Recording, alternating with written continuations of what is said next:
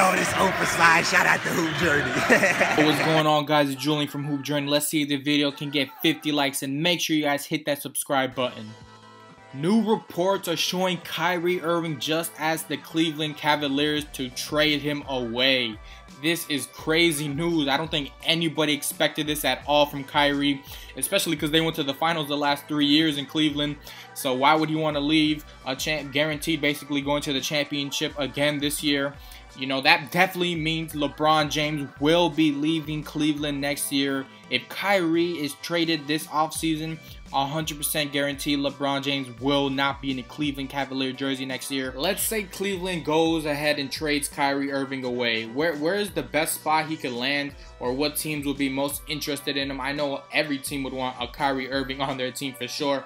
But you know, one team I see is maybe maybe the Cleveland Cavaliers can work out a trade with the Pelicans, New Orleans Pelicans. They have the best back front court, sorry, in the NBA with Anthony Davis and DeMarcus Cousins. I know they just signed Jrue Holiday, but I'm sure uh, Pelicans wouldn't mind trading Jrue Holiday, a couple other assets, maybe some draft picks for Kyrie, whatever the situation may be. But this is just crazy. I could even see San Antonio working out a deal to get Kyrie Irving. That would be crazy. Kyrie plus Kawhi, LaMarcus Aldridge if he can actually play ball. They have a nice bench. The best coach in the NBA. That would be a sick, sick matchup against Golden State. Maybe. I don't think enough to top them off, but you know, they were beating them before Kawhi got injured. They were up by like 20 something, right? So you never know what could happen. Maybe Kyrie goes to the Spurs. That would be a nice team to watch. Kyrie Irving might be leaving Cleveland out of nowhere. Another option, maybe Miami. Maybe they work out a trade for Goran Dragic. A uh, couple of, I don't know, whatever the case may be. Kyrie, where will he end up next year? This is crazy. I don't think anybody expected this. I definitely did not.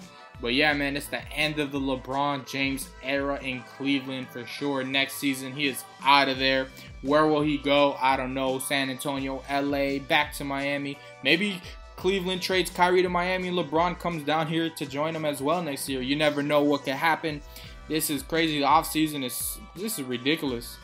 But if Cleveland does trade Kyrie Irving away, they're going to want to go ahead and trade for either draft picks or young players in their 20s, 21, 22, something early like that because Cleveland's going to have to start rebuilding again and it's going to be a while to Cleveland's a contender again after LeBron James leaves next season.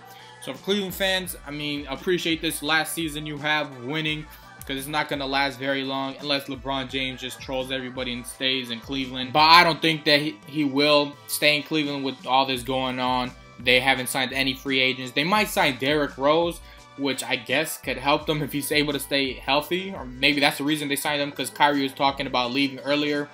Yeah, I don't know what's going on anymore. Cleveland is looking like a mess. They just fired their GM.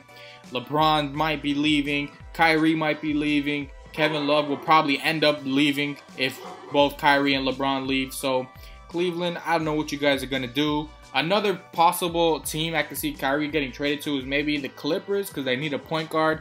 I'm sure Doc Rivers doesn't want Austin, his son, coming maybe coming off the bench for him, but you know, I don't think that would do anything in the West. Maybe even the Jazz might trade for him. I don't know. Any team that's lacking a point guard. But Kyrie coming out today saying he wants to be traded. So let's see what Kyrie and the Cleveland Cavaliers end up doing this offseason.